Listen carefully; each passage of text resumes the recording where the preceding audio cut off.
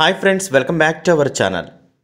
గుప్తుల కాలాన్ని స్వర్ణయుగంగా పేర్కొంటారు. ఆ కాలానికి చెందిన చాణక్యుడు తన అసమాన ప్రతిభా పాఠవాలతో గుప్త సామ్రాజ్యంలో సుస్థిర పాలనకు బీజం వేశాడు.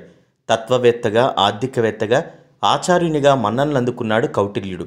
ఈయన రచించిన రాజనీతి గ్రంథమైన అర్థశాస్త్రం ప్రస్తుత సమకాలీన రాజకీయాలకు అద్దం పడుతోంది. భారతీయ అర్థశాస్త్ర పితామహుడిగా ప్రసిద్ధిగాంచిన చాణక్యుడు రాజనీతి అర్థశాస్త్రాలను ఆకలింపు చేసుకున్నాడు. చాణక్యుడు ఎంతో జ్ఞానం ఉన్న వ్యక్తిగా ఎలాంటి సమస్యనైనా పరిష్కరించే వ్యక్తిగా మనం భావిస్తాం.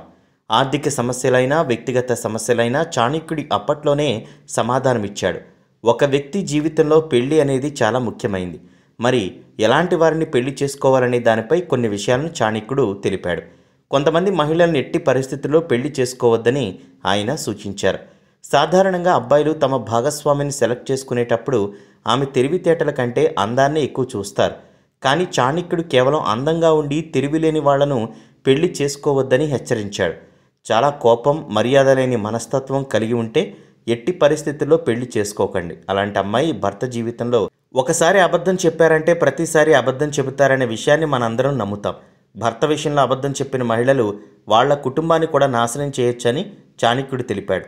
కాబట్టి అలాంటి మహిళను పెళ్ళి చేసుకోవద్దంటున్నారు చాణక్యుడు. అమ్మాయిల బ్యాక్గ్రౌండ్ ఖచ్చితంగా చూడాలని చాణక్యుడు సూచించారు. ఒకవేళ అమ్మాయిల బ్యాక్గ్రౌండ్ బాగోలేకపోతే మీ కుటుంబాన్ని విడదీసే అవకాశం ఉంటుంది.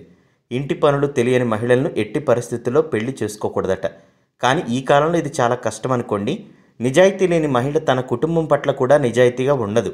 అలాగే భర్త విషయంలో కూడా నిజాయితీగా ఉండదు. చెడు వ్యక్తిత్వం కలిగిన అమ్మాయిని పెళ్ళి చేసుకోవద్దని చాణక్యుడు సూచించాడు. అలాంటి వాళ్ళను పెళ్ళి చేసుకుంటే మీ జీవితం నాశనం కావచ్చు. ఈ వీడియో నచ్చితే లైక్ చేయండి షేర్ చేయండి. సబ్స్క్రైబ్ చేయడం మాత్రం మర్చిపోకండి.